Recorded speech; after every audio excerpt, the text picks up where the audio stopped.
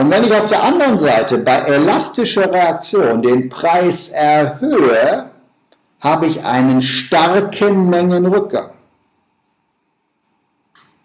Die Nachfrageseite reagiert elastisch, ein starker Mengenrückgang.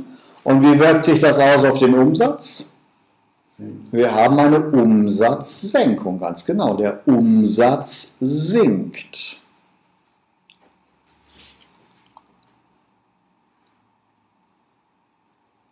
So, was heißt das? Das heißt, dass ich bei elastischer Reaktion meinen Umsatz steigern kann, indem ich den Preis senke. Das versuchen Sie mal in die Köpfe mancher Leute reinzukriegen. Ja?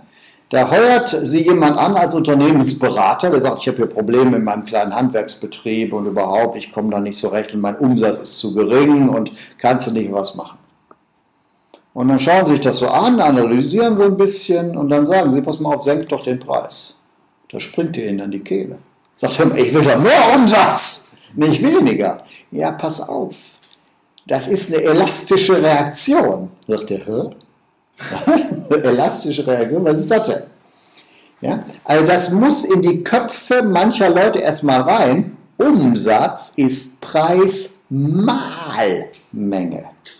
Malmenge, dieses Mal haben manche Leute nicht verstanden. Die Dynamik von Mal. Ich gehe mit dem Preis etwas runter, ich habe einen überkompensierenden Mengenzuwachs und damit eine Umsatzsteigerung unter der Prämisse, dass ich die Nachfrageseite richtig eingeschätzt habe, dass die Reaktion in der Tat elastisch ist.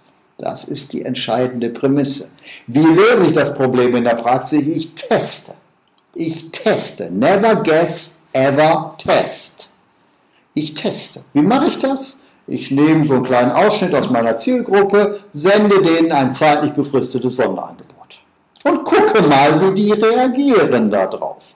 Und dann kann ich mit einer zufriedenstellenden Genauigkeit diese Stichprobe hochrechnen auf die Grundgesamtheit. Das ist keine so große Kunst. Ja, ich muss schauen, dass die Stichprobe repräsentativ ist. Ne, wir haben das besprochen. Und dann rechne ich das hoch auf die äh, Grundgesamtheit, also auf die gesamte Zielgruppe. Und dann weiß ich, ob die Reaktion elastisch ist oder unelastisch. Die Reaktion ist dann elastisch, wenn viele das Produkt haben wollen, aber aufgrund des Preises nicht kaufen. Dann kann ich eine elastische Reaktion unterstellen. Und dann kann ich in der Tat durch Preissenkung den Umsatz erhöhen.